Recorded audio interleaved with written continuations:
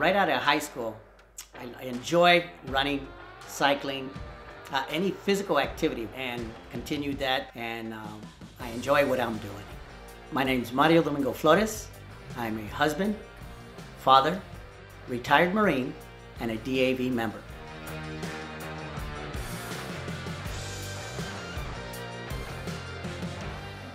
I joined the Marine Corps in 1981, and uh, shortly after, uh, as a reserve, uh, the Beirut bombing in 1983 occurred. Uh, and that, from there, as a reservist, was a calling to, uh, to take action against terrorism. And uh, since then, I went into Alpha Company 17, 1st Marine Division, and, and became my career and being an infantryman.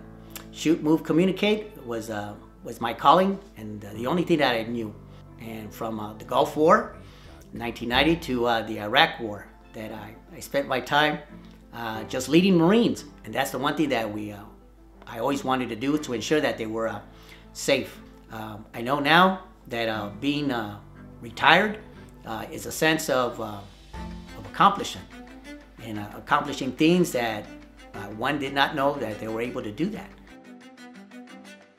After, after I was discharged, it was uh, challenging. It was challenging uh, as for what I was going to do next.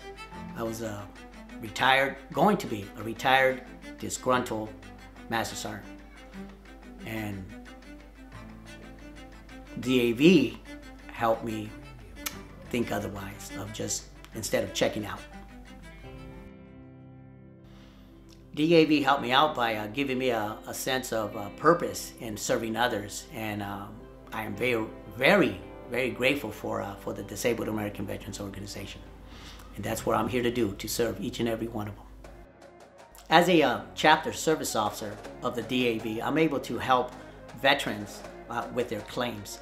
Uh, once they're, they're assured and um, given a, a, decision from Veterans Affairs, um, they, they come back with uh, ex excitement and uh, a, a relief of thanks of what, what we have provided for them.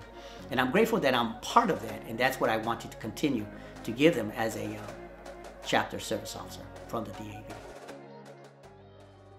It's important to, uh, for veterans to join uh, an organization like DAV because they have so many other sites or activities, uh, information that you can seek out and provide and, uh, and obtain